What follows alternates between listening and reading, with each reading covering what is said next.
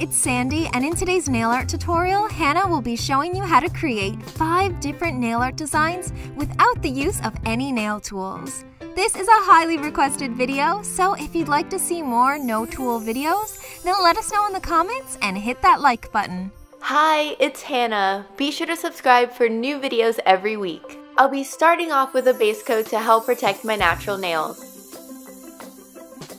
The first look is a really easy marble design. I'll be applying some liquid latex around my nail to help protect the skin, but if you don't have this, you can just put some scotch tape. I'll be using pink, white, and yellow polish, and I'm going to apply the white polish for my base color. Now I'm going to add blobs of each color onto the nail.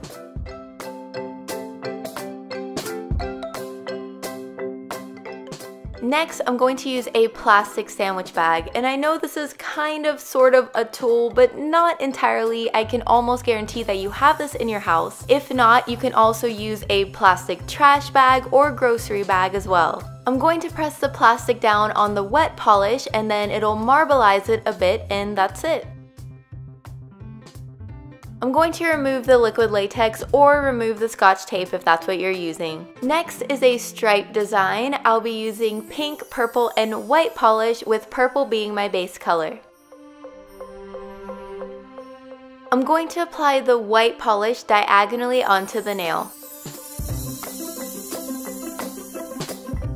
And the same with the pink polish, leaving a white stripe. Next we have a curved design. I'll be using a bright mint and black polish with the mint being my base color. I'll be taking the black and curving it down the nail first and then filling in the rest.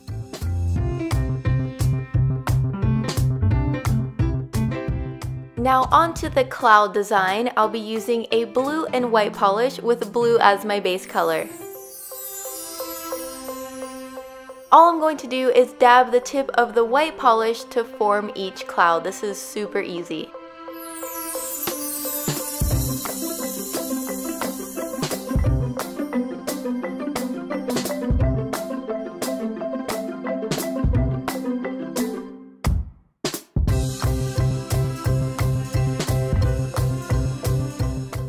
And last but not least is a heart design. I'll be using a red polish and I'm just going to curve the polish at the tip of the nail starting with one side and then doing the same thing to the other side to form the heart.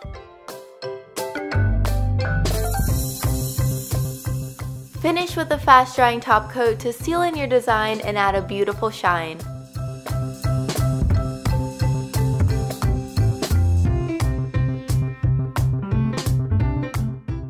That's it. I really hope you enjoyed this video. Don't forget to click the info card at the top right hand of the screen for more videos on CutePolish. And if you'd like to check out my personal nail channel, click the link in the description. Thanks for watching. Bye!